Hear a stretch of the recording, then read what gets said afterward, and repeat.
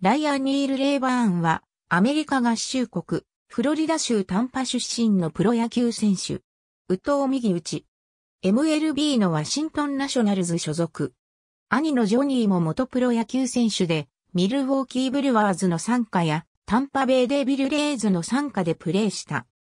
1999年の MLB ドラフト18巡目で、タンパベイデビルレイズから指名されたが、契約には至らなかった。2001年の MLB ドラフト5巡目で、デトロイトタイガースから指名され、6月20日に契約。2004年9月12日のミネソタツインズ戦でメジャーデビュー。2005年と2006年はトリプル A 級トレドマットヘンズで過ごした。2007年にメジャー最小格。2009年には113試合の出場で打率291.16本塁打、オプス891を記録。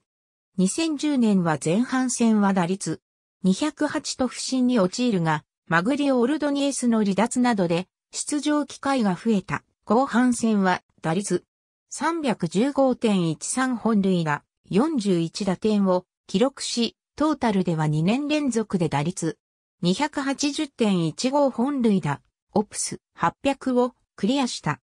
同年オフに年俸調停権を取得し、タイガースと2年340万ドルで契約を延長した。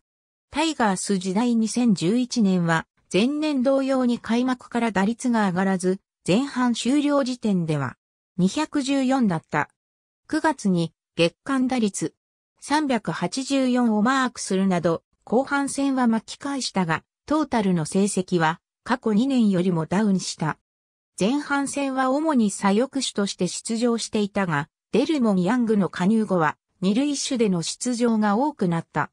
2012年は66試合に出場するが、打率171.1本塁打、12打点、1盗塁と結果を残せず、11月20日に自由契約となった。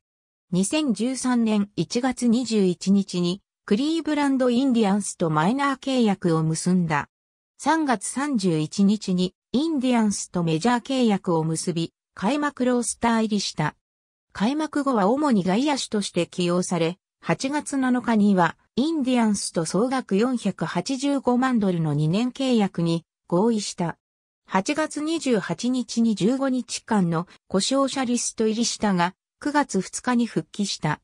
この年は87試合に出場し、打率272.16本塁打、55打点だった。2014年は内外野の控えとしてプレーし、74試合に出場した。打撃面では不振に陥り、打率200.4本塁打、22打点という成績に終わり、アベレージとパワーの両スタッツで成績が悪かった。2015年6月17日のシカゴカブス戦で自身2度目の登板をした。この年は打棒が復活し、82試合の出場で打率301.8本塁打、29打点、 OPS 0.936という好成績を残した。特に得点圏では本塁打こそなかったものの、シーズン打率より高い。313とよく打ち、19打点を叩き出した。守備面では、投手を除けば、左翼手と右翼手を守ったが、両方で DRS5 に終わった。オフの11月4日に FA となった。2016年3月4日、コロラドロッキーズとマイナー契約を結び、同年のスプリングトレーニングに合流した。3月28日にロッキーズとメジャー契約を結び、アクティブロースター入りした。この年は113試合に出場して打率220.9本塁打、30打点の成績を残した。